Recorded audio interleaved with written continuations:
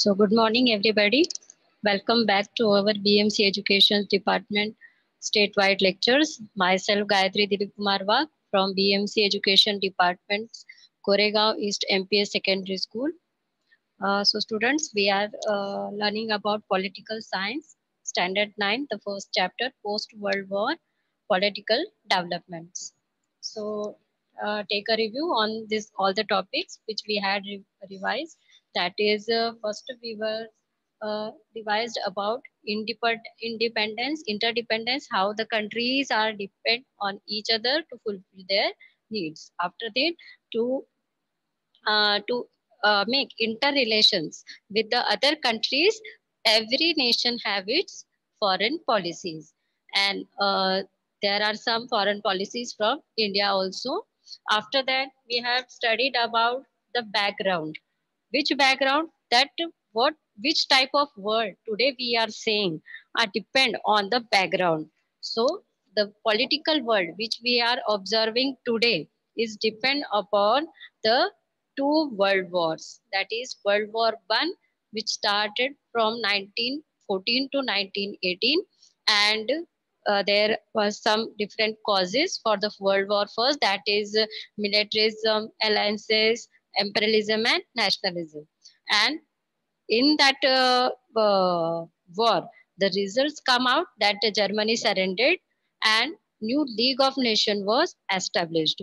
So there was a failure in League of Nations because, because of some uh, causes. And after that, because of this failure of League of Nations, Second World War was held and the second world war was fought between axis power and Allied power. In this war new types of nuclear weapons were used and the whole world saw the destruction the huge destruction of world. After that with the ending of the first world war the cold war was started between america and soviet union. And there were the effects of cold war. So because of cold war creation of military organizations are established. After that bipolarization of world uh, was there. After that to show their supreme power arms race was started and creation of regional organization. Because these two countries america and soviet union wants to show their supreme power. But some nations which were independent uh, after the second world war they want their own independence. So they formed their small regional organization. After that we had studied about non-alignment. So uh, non-alignment is a uh, we can say there is a movement okay which shows uh, the world that how we are not uh, confirmed in this of uh, war. ठीक है? Non alignment क्या था? It is uh, जो देश world war to के बाद में independent हुए थे। ठीक है? जिसको आज़ादी मिली थी वर्ल्ड वॉर टू के बाद में। तो ऐसे जो कंट्रीज़ थे उनको इन सुप्रीम पावर की रेस में नहीं जाना था। उनको इन दोनों में से किसी एक कंट्री के साथ में नहीं रहना था। They have form their own identity उनको अपनी ओन आइडेंटिटी बनानी थी they want to develop their countries and so this non alignment movement was is in forum in 120 development worlds so uh, this movement was started under the five founding members first one is jawaharlal nehru second one is mukarram ghana's first president after that gamal abdel nasser who was the second president of egypt after, after that, Sukarno, uh, who was the first president of Indonesia, and Tito, president of Yugoslavia. All these five presidents and one prime minister have started this uh, movement. Now see, let us start with the evaluation of aligned movement. Okay. So how this movement had worked together. First one, it worked for colonization. Now, the non-alignment movement has opposed colonization. Okay, after that, imperialism and racism. Now colonization means making of colonies जो uh, पहले आपने देखा होगा कि uh, किस तरह से Britishers जो थे वो इंडिया में आए थे ओनली टू डू बिज़नेस ठीक है ट्रेडिंग के हिसाब से ही वो हमारे देश में आए थे ठीक है? ट्रेडिंग के करते करते उन्होंने धीरे धीरे क्या किया? हमारे देश में ही कॉलोनीज बनानी स्टार्ट कर दी। उन्होंने धीरे धीरे रहना स्टार्ट कर दिया। और रहते रहते उन्होंने क्या किया? धीरे धीरे हमारे देश पे पूरा कब्जा ही कर लिया। था दीज आर द कॉलोनीज तो इस तरह से बहुत सारे पावरफुल कंट्रीज़ जो थे, वो दूसरे देशों पे स्मॉल कंट्रीज़ पे अपनी कॉलोनीज बनाते थे उसको कॉलोनिज्म बोलते हैं। तो ये जो नॉन अलाइनमेंट मूवमेंट स्टार्ट हुई थी, इन्होंने ये कॉलोनिज्म सिस्टम को खत्म किया कि अब से आगे कोई भी कॉलोनिज्म नहीं करेगा।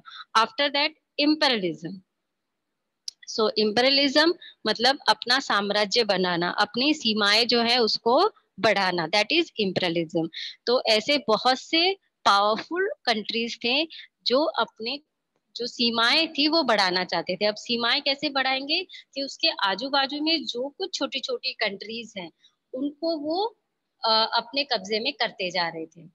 तो ये जो सिस्टम है ये भी क्योंकि अभी जो टाइम था after the second world war ये जो टाइम था ये हर एक देश को इंडिपेंडेंट बनाने का था।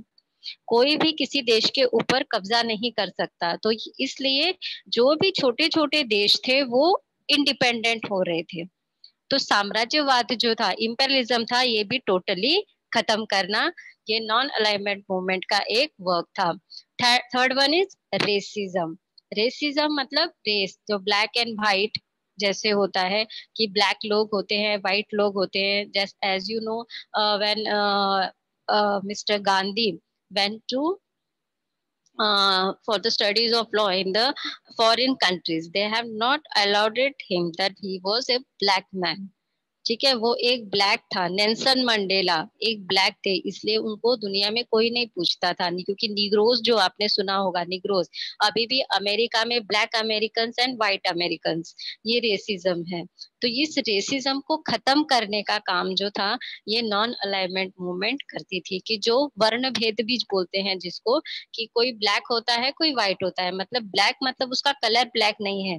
ठीक है ब्लैक तो है ही कलर लेकिन उसका जो जन्म था जहाँ से हुआ है, जहाँ से जन्म हुआ है उसका तो उन्हीं से वो लोग फाइट करते थे। तो ये है रेसिज्म तो इसके अगेंस्ट भी नॉन अलाइव मूवमेंट जो थी वो काम कर रही थी। So racism encourage the resolution of international disputes by peaceful manners so this non-alignment movement encourage the solutions, resolution of international disputes by peaceful means मतलब जो भी दो देशों के छोटे हो या बड़े हो, अगर उन देशों के बीच में कोई प्रॉब्लम्स चल रही हैं डिस्प्यूट्स है तो इनको दूर करने का काम, उनको सुलह करने का काम नॉन अलाइनमेंट मूवमेंट का था। वो चाहते थे कि अब हमारे वर्ल्ड में कोई भी दो देश आपस में ना लड़े। तो ये काम भी नॉन अलाइन मूवमेंट का था। Okay so india led this movement under the guidance of pandit jawaharlal nehru so india continued to actively support the movement afterwards as well even after the end of cold war the importance of the movement has not reduced uh, after cold war ये जो cold war जब खत्म हो गई थी उसके बाद में भी ये जो इम्पोर्टेंस था नॉन अलाइव मूवमेंट का, ये खत्म नहीं हुआ। क्यों? क्योंकि उनके जो पॉइंट्स थे कि कॉलोनिज्म नहीं होना चाहिए इम्पेरलिज्म नहीं होना चाहिए रेसिज्म नहीं होना चाहिए, ठीक है? देशों के बीच में जो झगड़े हैं वो खत्म होने चाहिए। तो ये सारे जो प्रॉब्लम्स है, ये आज भी कई, आपने देखा होगा कि देशों के बीच में झगड़े चल ही रहे हैं। For example India and Pakistan India and China ये जो छोटे छोटे झगड़े चल रहे हैं तो ये इंटरनेशनल लेवल तक हमारे गए हुए हैं। And they help us to cure from this disputes अगर हम पे कोई प्रॉब्लम आती है तो हम अभी तक तो अच्छे हैं कि हम लोग अपने दुश्मनों को जवाब दे सकते हैं। तो अभी तक ये इंटरनेशनल इशू नहीं हुआ बट अगर कुछ होता है तो हमारे साथ में दूसरे देश भी खड़े होंगे जो पाकिस्तान के साथ में वॉर करने को तैयार होंगे। ठीक है? तो ये सब बातें होती है तो अचानक ऐसा नहीं होता है कि हम बोल दें और वॉर स्टार्ट हो जाएगा। नहीं, किसी भी देश के बीच में अगर वॉर होगी तो ये सबसे पहले इंटरनेशनल इशू होता है। उसी के बाद में वॉर जो है वो स्टार्ट होगी। तो इस तरह से ये जो डिस्प्यूट्स है, इनको खत्म करने का काम भी नॉन अलाइनमेंट मूवमेंट का था और ये जो नॉन अलाइनमेंट मूवमेंट है under the guidance of Pandit Jawaharlal Nehru जो था, ये कंटिन्यू एक्टिवली ये जो मूवमेंट था, ये चल ही रहा था। और कोल्ड वॉर के बाद में भी ये जैसे कि वैसे ही चलता रहा after that, the non alignment movement is based on eternal principles of humanism. Now, eternal matlab जो चीज़ अमर है, जो चीज़ कभी खत्म नहीं हुई, हमेशा जैसी की वैसी है कांस्टेंट है। That is the eternal principles of humanism global peace and equality now see this non alignment movement जो ये नॉन अलाइनमेंट मूवमेंट है, इसके बेसिस क्या है? किन गाइडलाइंस पे ये काम करती है? तो ये गाइडलाइन है उसकी फ़र्स्ट वन इज़ ह्यूमैनिज्म कि लोगों के अंदर, पूरे वर्ल्ड के लोगों के अंदर एक दूसरे के लिए ह्यूमैनिटी होनी चाहिए, मानवता होना चाहिए, मानवता होनी चाहिए। किसी भी पर्सन ने चाहे वो किसी भी देश का हो किसी भी रेस का हो किसी भी रिलीजन का हो किसी ने एक दूसरे को नीचा नहीं दिखाना है। हर एक ने उसके रिस्पेक्ट करनी है।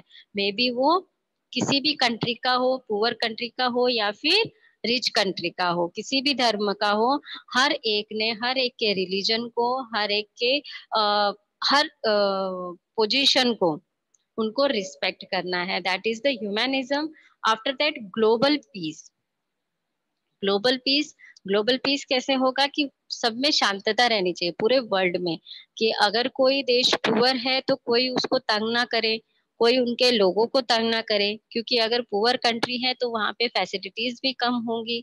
तो जो वहाँ का पर्सन है, उसको ज़्यादा फैसिलिटीज़ के बारे में मालूम नहीं होगा तो कोई भी उसका अपमान ना करे। वो जैसा है वैसे ही रहे। आपने कभी देखा होगा फॉर एग्ज़ाम्पल जब सार्क का अधिवेशन होता है, तब देखिए जो लोग केनिया से आते हैं, अफ्रीका से आते हैं तो उनका ड्रेसिंग सेंस कैसा होता है? अलग सा होता है, जबकि बाकी सब लोग कोट में होते हैं सूट्स में होते हैं। ठीक है? But they are in that position why because they have वो अपने रिलीजन को मानते हैं। वो अपने देश को मानते हैं। तो अगर वो उस टाइप के कपड़े पहन के आते हैं तो इसका मतलब ये नहीं है कि वो उस अधिवेशन में बैठ नहीं सकते या फिर वो उस मीटिंग में बैठ नहीं सकते because we have to respect their religion we have to respect their culture हमें हर एक देश का कल्चर जो है उसकी रिस्पेक्ट करनी है, वहाँ के रिलीजन की रिस्पेक्ट करनी है दैट इज़ और उसी से ही क्या होगा? Global peace and equality equality between all people may be they are male और दे आर फीमेल मैन होगा वुमेन होगी, ठीक है? फिर भी उनके समान उनके बीच में समानता होगी, ठीक है? वो किसी भी पुअर कंट्री से हो या फिर रिच कंट्री से हो, चाहे वो मैन हो, चाहे वुमेन हो वर्ल्ड का हर एक पर्सन जो है, वो क्या है? इक्वल है। तभी ये इक्वेलिटी ह्यूमनिज्म से ही हमारे वर्ल्ड में पीस रहेगी, शांति रहेगी। After that it has inspired the less development countries to come together. One more, inspired poor countries. जो भी हमारे वर्ल्ड की पुअर कंट्रीज़ है उनको इंस्पायर करना उनको आगे लाने का काम नॉन अलाइनमेंट मूवमेंट का होगा जैसे अफ्रीका के बहुत सारे देश ऐसे हैं बहुत सारी कंट्रीज़ ऐसी हैं अफ्रीका रीजन की जो बहुत ज़्यादा पुअर है कई टाइम पे तो ऐसा रहता है, उनके पास में खाना भी नहीं रहता है खाने के लिए। तो ये वर्ल्ड का काम होता है कि उन ऐसी कंट्रीज़ तक खाना पहुँचाए। ठीक है? तो नॉन अलाइनमेंट मूवमेंट का बिकॉज़ ये सब कोल्ड वॉर के बाद की बात है मीन्स 1991 के बाद की बात है कि non alignment movement during the cold war cold war जब चल रहा था, तब 1945 से 1991 के बीच का जो ये टाइम था तब का टाइम ऐसा था कि बहुत सारी कंट्रीज़ थी, वो बहुत ज़्यादा पुअर भी थी। तो इन कंट्रीज़ के पास में कोई स्ट्रॉन्ग मिलिट्री नहीं थी। ठीक है? कोई बहुत ज़्यादा डेवलप गैजेट्स नहीं थे टेक्निकल नॉलेज नहीं था तो ये बहुत ज़्यादा पिछड़े हुए थे पुअर थे। तो इस टाइप की कंट्रीज़ को आगे लाने का काम डेवलप करने का काम जो था, वो नॉन अलाइनमेंट मूवमेंट करती थी। तो इस तरह से उनका काम था।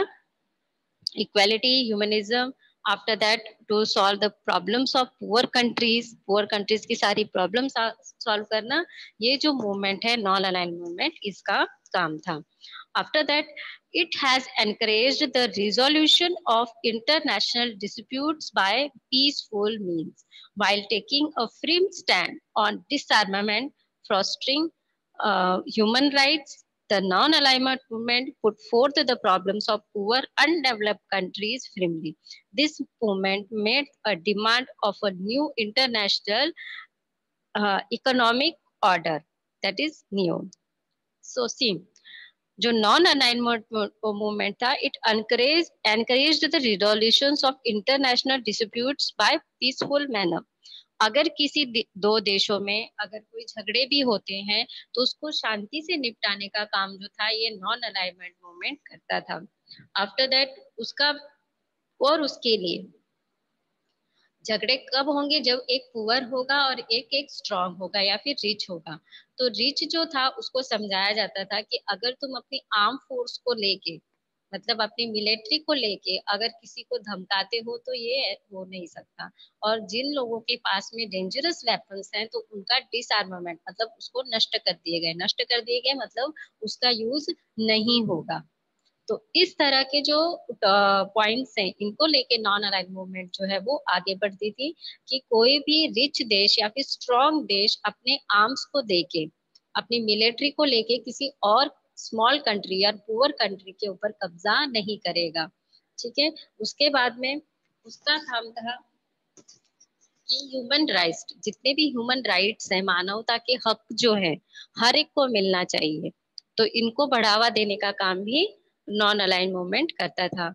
और उसी के साथ में जैसे मैंने आपने, आपको बताया कि पुअर कंट्रीज़ के जो प्रॉब्लम्स हैं, उनको सॉल्व करने का और उनको हेल्प करने का काम नॉन अलाइन मूवमेंट का था।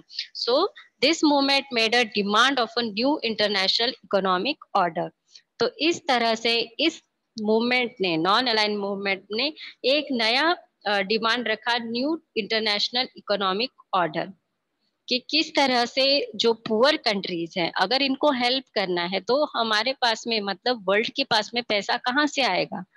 तो जो भी डेवलप्ड कंट्रीज़ हैं या फिर ऐसे कंट्रीज़ हैं जिनके पास में पैसा है या फिर वो किसी भी तरह से उनकी मदद कर सकते हैं। जैसे फॉर एग्ज़ाम्पल जैसे इंडिया के पास में एक टाइम ऐसा था कि पैसा नहीं था, लेकिन हमारे पास में फ़ूड ग्रेन्स बहुत था, अनाज बहुत था तो हम लोग उनकी हेल्प अनाज देके करते थे।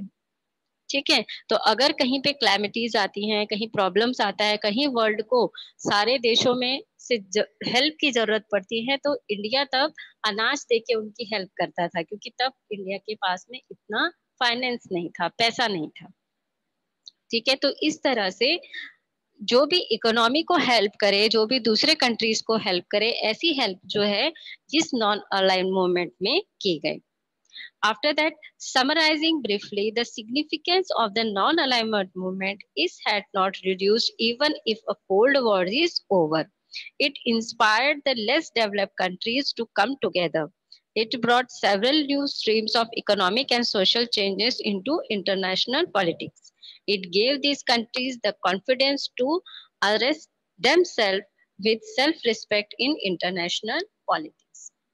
The non-alignment movement ये काम था कि जो नॉन अलाइनमेंट मूवमेंट है वो सारी कंट्रीज को इंस्पायर कर रही थी ठीक है? चाहे वो डेवलप हो लेस डेवलप्ड हो, ठीक है? ऐसी सारी कंट्रीज़ को आगे लाने का काम कर रही थी, उनको साथ लेके चलने का काम कर रही थी और इससे क्या हुआ कि वर्ल्ड में एक अलग ही वेव चालू हुई, एक अलग ही धारा चालू हुई जिसके अंदर सारे वर्ल्ड में इकोनॉमिक और सोशल चेंजेस जो है वो देखे गए।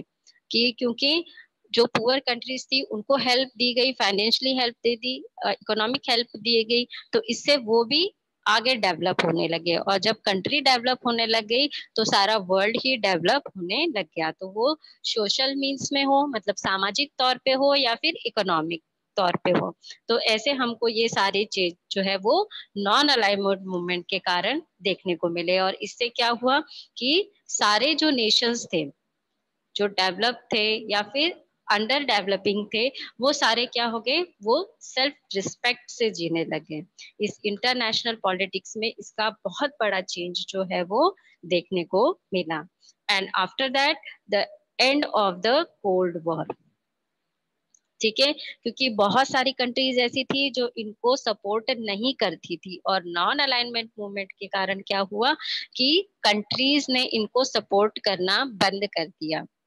और कहीं पे जाके सारी दुनिया ने इनको ये बोला कि आपको ये कोल्ड वॉर बंद करना पड़ेगा, क्योंकि इससे क्या हो रहा था? कम्युनिस्ट और सोशलिस्ट, ठीक है? इन दोनों पार्टीज़ के कारण जो बाकी जो कंट्रीज़ इनको हेल्प कर रही थी, वो बहुत ज़्यादा प्रॉब्लम में आ रहे थे। तो पूरे गवर्नमेंट वर्ल्ड की ये जो ऑर्गेनाइजेशन थी, लीग ऑफ़ नेशन, इन्होंने बताया कि आपको कोल्ड वॉर अब एंड करना पड़ेगा और uh, जो कोल्ड वॉर था वो एंड हुआ after that the reasons for the end of cold war so the cold war that had dominated international politics since 1945 came to an end. It was an important event that happened towards the end of the last century. These were many reasons for the end of the Cold War as we know. So, as we know, that Second World War was fought between 1939 to 1945. So 1945 से ये जो cold war था ये start हुआ। तो इतना बड़ा problem कम से कम दस साल तक ये जो था नौ दस साल का ये जो पीरियड था तब कोल्ड वॉर जो वो चल ही रहा था। सोवियत यूनियन और अमेरिका के बीच में। लेकिन जैसे अभी हमने नॉन अलाइनमेंट मूवमेंट के बारे में बताया, जो इफेक्ट्स पड़े थे the effects of cold war जो हुआ था नॉन अलाइनमेंट मूवमेंट हुआ था, उसके बाद में क्रिएशन ऑफ़ रीजनल ऑर्गेनाइजेशंस तो ये जो लोगों ने अपना अपना रास्ता चुनना स्टार्ट कर दिया था तो इनको सपोर्ट करने वाला कोई भी नहीं था। तो क्या हुआ? इसका एंड जो हुआ, उसके भी रीजन थे। So reason for the end of the cold war the Soviet Union adopted the policy of opening of the economy so the Soviet Union adopted the policy of opening the economy the Soviet the state loosened up its control of the economy. Now see Soviet Union जैसे मैंने ये बोला था कि Soviet union जो है, ये socialist country थी। ठीक है? सोशलिस्ट कंट्री मतलब only one will be there one government will be there okay वहाँ पे सिर्फ़ एक ही गवर्नमेंट थी। हर चीज़ गवर्नमेंट ही रन करती थी। हर चीज़ में गवर्नमेंट ही पार्टिसिपेट करती थी। वहाँ कैपिटलिज्म नहीं था मतलब प्राइवेटाइजेशन नहीं था। ओके तो अब क्योंकि न्यू क्रिएट नए नए रीजन स्टार्ट हो रहे थे लोग डेवलप हो रहे थे ये उनको आ, मतलब मान नहीं रहे थे बाकी कंट्रीज़ कि हमको सोशलिस्ट होना है।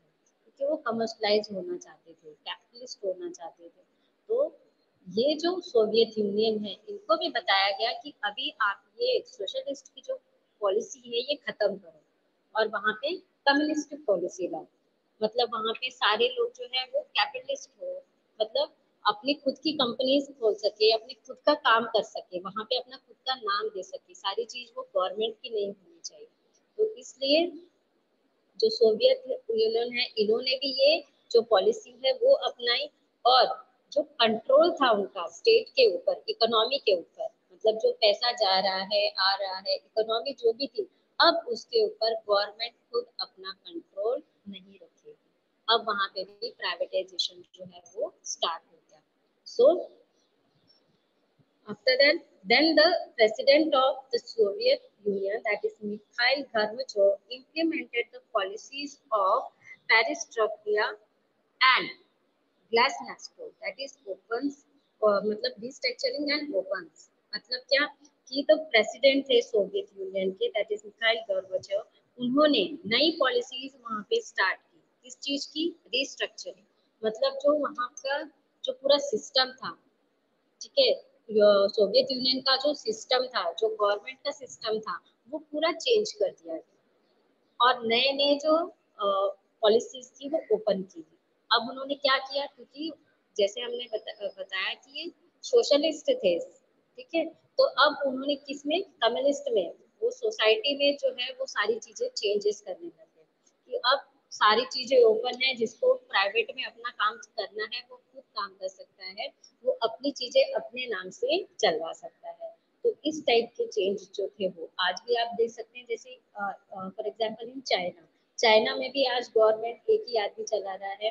उसको कोई भी इंटरफेयर नहीं कर सकता, कोई भी अपने नाम से वो चला नहीं सकता। वहाँ पे only one is there that is the China तो इस तरह से तब था लेकिन after the cold war after the end of the cold war ये सब चीज़ें खत्म हो गई। Due to these policies the control over the media reduces ठीक है? मीडिया के ऊपर जो भी कंट्रोल था, पहले क्या हुआ करता था? कि जो मीडिया है वो वही बोलेगी, जो गवर्नमेंट बोलेगी। तो अब भी ये सारी चीज़ें खत्म कर दी गई। पॉलिटिकल इश्यूज़ इकोनॉमिक इश्यूज़ जो थे लोगों के सामने आने लग गए। तो इससे जो सोवियत यूनियन है, वो रिस्ट्रक्चर्ड हुआ, नया बना, ठीक है? और इससे क्या हुआ, वहाँ की डेमोक्रेसी जो है, वो बहुत, उसको बहुत बढ़ावा मिला। जो डेमोक्रेसी है, वो अच्छी तरह आगे जाने लगी। As in uh, the Eastern European countries, under the influence of Soviet Union, adopted the capitalist and democratic path, the regimes there changed. मतलब वहाँ के जो ईस्टर्न भाग का यूरोप का ईस्ट भाग का जो था जो अब उसके साथ ही कम्युनिस्ट था पहले अब वो भी कैपिटलिस्ट हो गया अब वो भी कम्युनिस्ट हो गया मतलब कैपिटलिज्म अब वहाँ पे भी इकोनॉमिक जो है इकोनॉमी जो है वो लोग ही करते थे है मतलब जैसे हमने, हमारे देश में कैसे, जैसे मैंने आपको बताया कि जैसे हमारे यहाँ टीवी, फ्रिज, ये प्राइवेट है। ठीक है, टीवी के ऊपर अपना वीडियो वीडियोकॉन है? ठीक है एलजी है सोनी है, ये प्राइवेट है, ये कोई गवर्नमेंट का नहीं है। लेकिन रेलवे जो है वो गवर्नमेंट की है।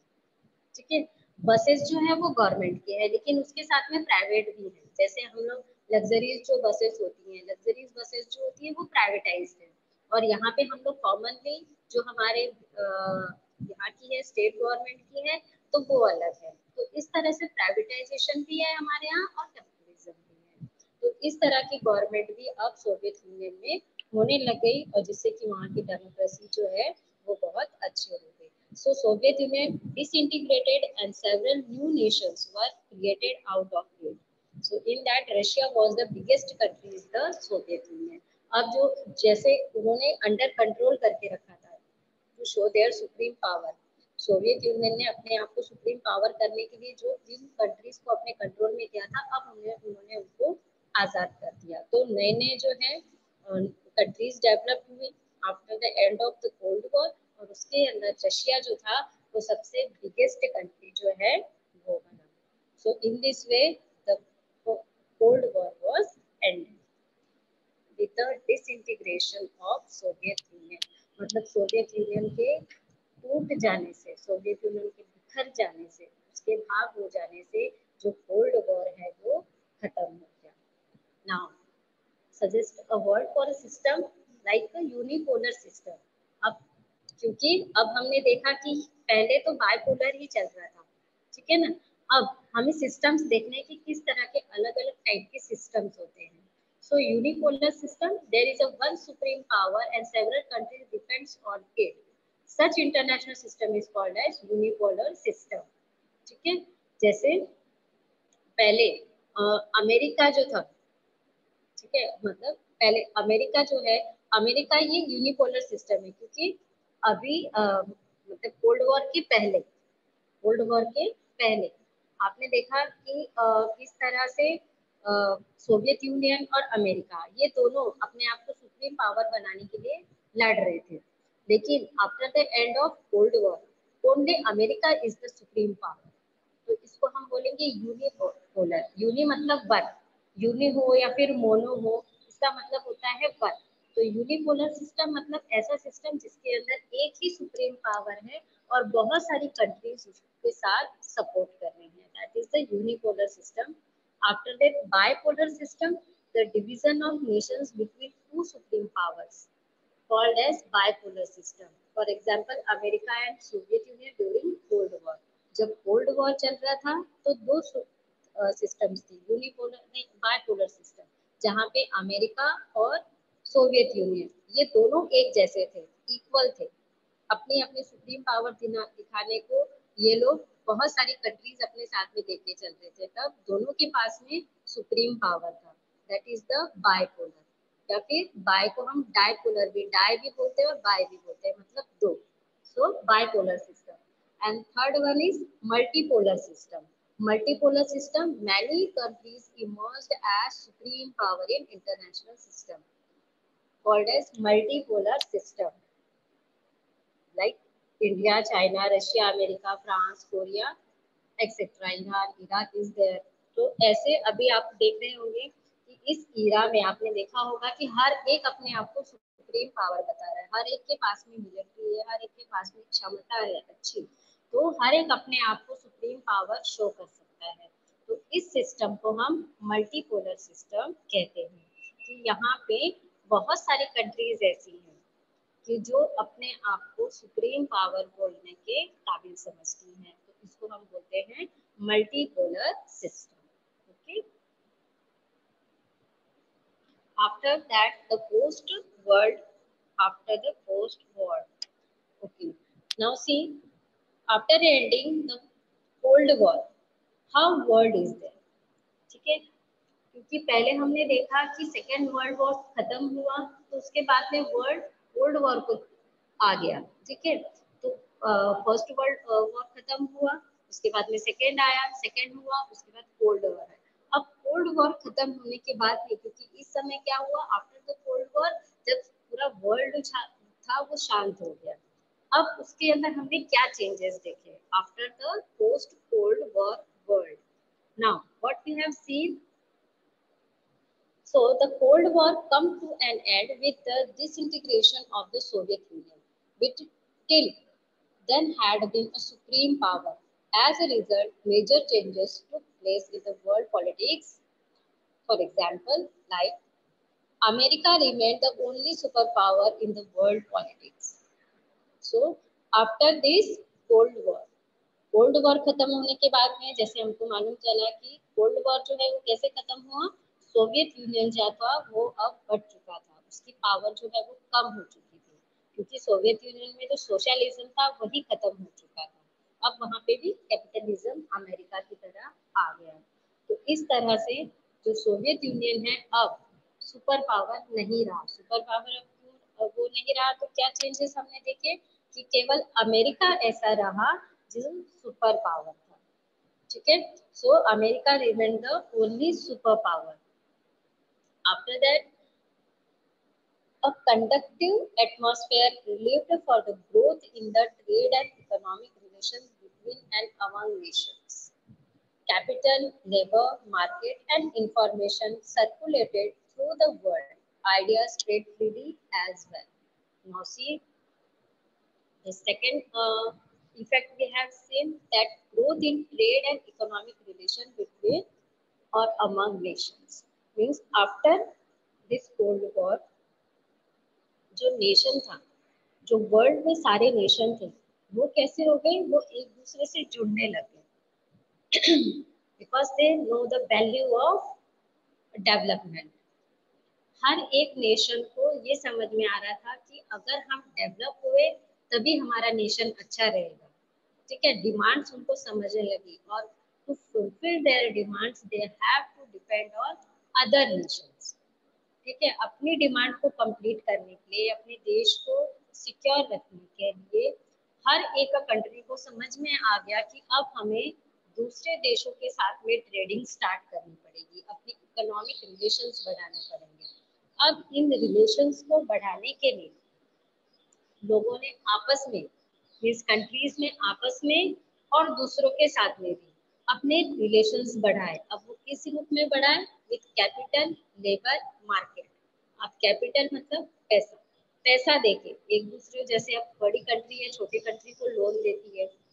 ठीक है? इस तरह से पैसे दिए उन्होंने। लेबर मजदूर जो होते हैं, काम करने वाले।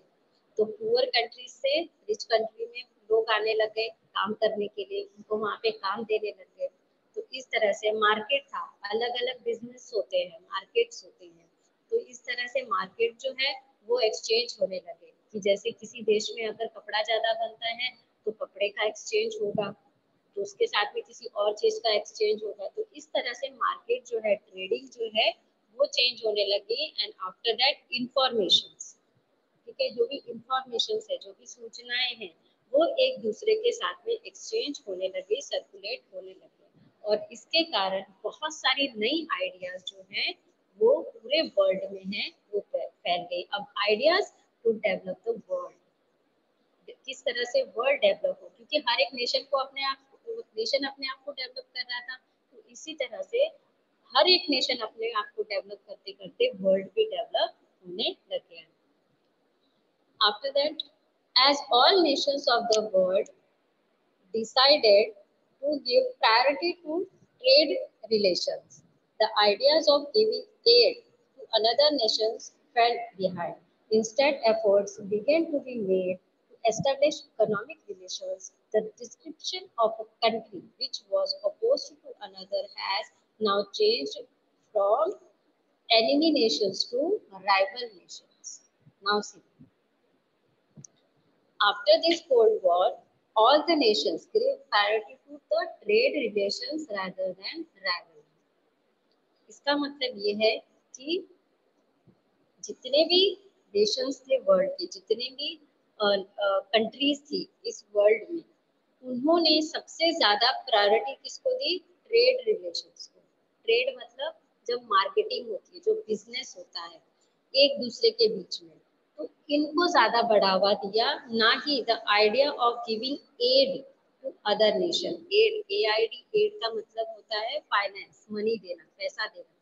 तो पहले हुआ, ऐसे हुआ करता था कि पैसे दिए जाते थे, दूसरे को लोन दिया जाता था, या फिर पैसों से हेल्प की जाती थी। लेकिन अब ट्रेड कैसे ट्रेड के ऊपर ज़्यादा रिलेशन कैसे होगा कि हम लोग चीज़ों का एक्सचेंज करें। ठीक है, चीज़ें हम लोग एक दूसरे से एक्सचेंज करें। जैसे आप समझ लीजिए कि बड़े तौर पे आपने देखा होगा, जैसे अभी हमने इंडिया ने अमेरिका से मिक्स मंगाए, ठीक है, फाइटर प्लेन्स मंगाए। तो इसके बदले में हो सकता है कि हमने अब हम लोगों ने भी कोरोना वायरस के जो थे, वो हमने अमेरिका अमेरिका तक पहुँचाए। इंजेक्शन जो थे, इंडिया में बने थे, जो मेडिसिन थी, वो हमने अमेरिका को दी। ठीक है तो ये सब एक्सचेंज हो रहा है। हम बहुत सारा मटेरियल है ट्रेड जो है वो दूसरे नेशंस के साथ में करते हैं, ठीक है? जैसे छोटे एग्ज़ाम्पल में ऐसे ये तो मिसाइल्स और प्लेन्स की बात होती है। छोटे तौर पे होता है, जैसे पाकिस्तान के साथ में जब हमारे अच्छे रिलेशन थे तो हमारे वहाँ से ड्राई फ्रूट्स बहुत आते थे, ठीक है? ड्राई फ्रूट्स वो हमको एक्सपोर्ट करते थे और यहाँ से हम लोग अपने नदियों का पानी उनको देते थे। या फिर हमारे यहाँ पे जो चीज़ होती है, हम एक्सचेंज किया करते थे। तो ये ट्रेड्स हैं। तो इस तरह से ट्रेड जो है बिज़नेस जो है, उसको ज़्यादा बढ़ावा दिया जाए, ना ही पैसा देके। कि पैसा देके हमने उसको मना दिया। ऐसा नहीं करेंगे। तो ये चीज़ अभी बंद हो गई थी। और रिलेशंस इकोनॉमिक रिलेशंस बढ़ाने के लिए अब ये माना गया कि कंट्रीज़ ने एक दूसरे के साथ में, अगर होता भी है, जैसे हमारे और पाकिस्तान, हमारे और चाइना के बीच में जो प्रॉब्लम्स हैं, वो दुश्मनी ना हो वो राइवलरी हो मतलब एक कॉम्पिटिटर समझे। ठीक है? कोई भी कंट्री दूसरे कंट्री को अपना दुश्मन ना समझे, बल्कि वो कॉम्पिटिटर समझे कि हाँ हमें उससे कंपटीशन करना है। तो देखिए, जब हम लोग कंपटीशन करते हैं तो एक फ़र्स्ट और एक सेकेंड आता है। लेकिन वो एक दूसरे के दुश्मन नहीं होते ठीक है? तो इसी तरह से देश के सारे वर्ल्ड के जितने भी नेशंस हैं, उन्होंने कॉम्पिटिटर्स बनना है। एनिमी नहीं बनना है। तो ये आफ्टर कोल्ड वॉर ये चीज़ उनके सामने लाई गई so the responsibility of the United Nations has increased so Now, they had to take their more concrete step to maintain global peace. Now, what was the responsibility of United Nations? They have to increase uh, the step for the global peace. कि पूरे दुनिया में शांति रहे शांति बनी रहे इसका काम अब यूनाइटेड नेशन का बढ़ गया था। So environmental protection fostering of human rights, gender equality, and management of natural calamities now acquired the global dimension. तो इस तरह से हमने ट्रेड को मार्केट को बढ़ावा दिया और उसी के साथ में एक बड़ा काम था एनवायरमेंट प्रोटेक्शन का जैसे पॉल्यूशन से बचाना। पूरे वर्ल्ड को पॉल्यूशन से बचाना ये भी आ, काम किया गया। ह्यूमन राइट्स को आगे बढ़ाना, ये भी काम किया गया। उसके बाद भी जेंडर इक्वालिटी है मैनेजमेंट ऑफ़ नेचुरल कैलेमिटीज कि वर्ल्ड में अगर कहीं पे भी नेचुरल कैलेमिटीज आती है, जैसे फ्लड आता है अर्थक्वेक आता है, या फिर स्ट्रॉम्स आते हैं, ठीक है? इस टाइप के ड्रॉट आते हैं, सूखा पड़ता है, बाढ़ आती है, ये सब अगर नेचुरल कैलेमिटीज कहीं पे भी आए तो सारी दुनिया उसको हेल्प करेगी। ठीक है? तो इस तरह से ये जो हेल्प करने का जो पूरा इंटेंशन था कि पूरे वर्ल्ड में अगर कहीं पे भी क्लैमिटीज आती हैं तो पूरे वर्ल्ड ने एक दूसरे देशों को मदद करनी है। तो इस तरह से ये सारी चीज़ें जो है ये सारे पॉइंट जो है वो पोस्ट वर्ल्ड में हमने देखे after that globalisation so what is globalisation After the end of the Cold War, trade and economic relations between countries become more open. As been mentioned before capital labor, markets and information being circulated globally. The give and take of ideas among people all over the world due to the revolution in information technology, different events and developments began to note everywhere.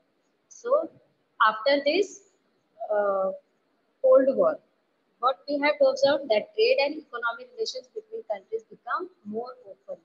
जो भी trades थे, जो भी economy थे, ये देशों के बीच में ओपन हो चुकी थी। रिलेशन बढ़ते चले जा रहे थे, ठीक है? लोग काम के लिए एक देश से दूसरे देशों में जा रहे थे। जैसे आपने अभी सुना ही होगा कि बहुत सारे डॉक्टर्स हैं आईटी इंजीनियर्स हैं, जो पर हमारे देश से बाहर के देशों में काम करने के लिए जाते हैं।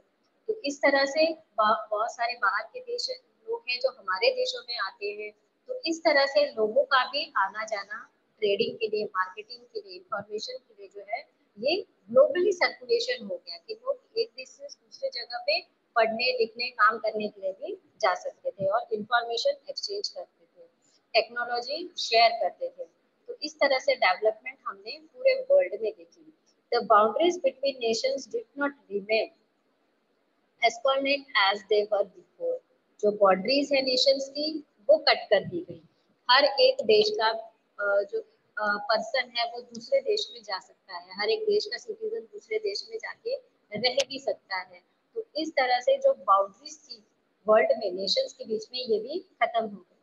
All this process are together for globalisation so globalisation ये एक प्रोसेस हो गई by which the world is being increasingly interconnected as a result of massively increased trade and culture and exchange. Globalisation has increase the production of goods and services तो globalisation हम किसको बोलेंगे? जिसके अंदर देशों के बीच में कोई बाउंड्रीज नहीं रही।